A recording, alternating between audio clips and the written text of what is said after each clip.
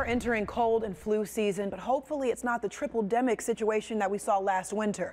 That's when the flu, COVID, and RSV hit all at once. Well, this year, though, pregnant women will have a new tool to help keep their babies safe from illnesses, especially in those first few weeks of life when they are most vulnerable. Now, consumer investigator Jen Picciano tells us more about newly available RSV vaccines. Late last month, the FDA approved Abrysvo, the first ever vaccine created to prevent RSV in babies by giving it to their mothers during the last trimester of their pregnancy. Now, it has shown promising results in keeping babies from getting sick.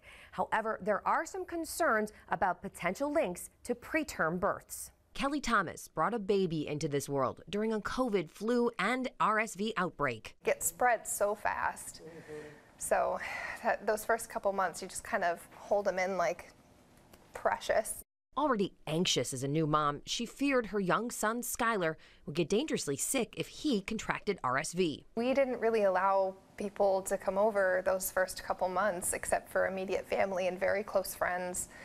You know, you just don't want to expose him to everyone and everything. Looking ahead to future pregnancies, she is relieved to know she'll have the option of an RSV vaccine at 32 to 36 weeks to give any of Skylar's future siblings their best chance at fighting off the serious respiratory virus. You know, you're getting the injection, so I feel like it's a safer and less invasive way to get them those antibodies and to start getting their immune system up and running without giving it straight to them. OBGYN Dr. Greg Marchand with the Marchand Institute says he likes the strategy of protecting babies from RSV through their moms. Uh, now, the data behind it protecting against RSV is really extremely strong. Data showed 80% decreases in RSV infections uh, in babies, particularly in the first three months, but that protection did last to a lesser degree out to six months. So this was a lot of protection and will likely prevent a lot of hospitalizations. However, he says the clinical trial of this vaccine showed a 17% increase in preterm labor and preterm births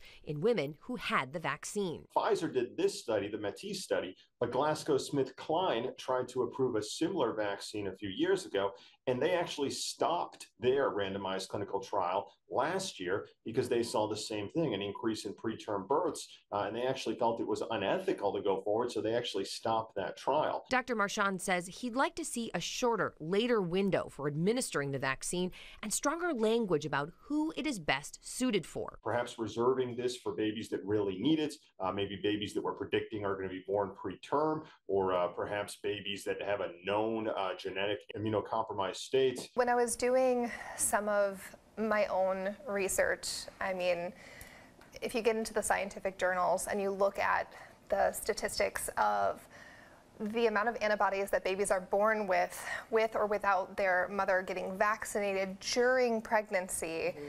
it's it's amazing. Kelly is confident this is the safer way to go and believes the benefits will outweigh the risks. But she knows this is a personal decision pregnant women will make with their doctors. Jen Picciano, 19 News.